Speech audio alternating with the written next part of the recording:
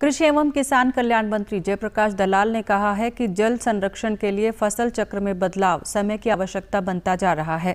कृषि वैज्ञानिक कम पानी से पकने वाली फ़सलों पर अनुसंधान कर रहे हैं। किसानों को भी फ़सल विविधीकरण की ओर जाना होगा। प्रदेश में मक्का के अधीन क्षेत्र को बढ़ाने की योजना तैयार की जा रही है।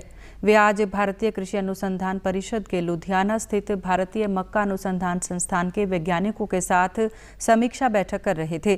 बैठक में कृषि मंत्री को अवगत करवाया गया कि हरियाणा में मक्का की खेती को बढ़ावा देने के लिए पायलट प्रोजेक्ट के आधार पर 500 एकड़ में प्रदर्शन खेती फार्म की योजना तैयार की गई है। इसी कड़ी में सितंबर के तीसरे सप्ताह में मक्का दिवस भी मनाया जाएगा।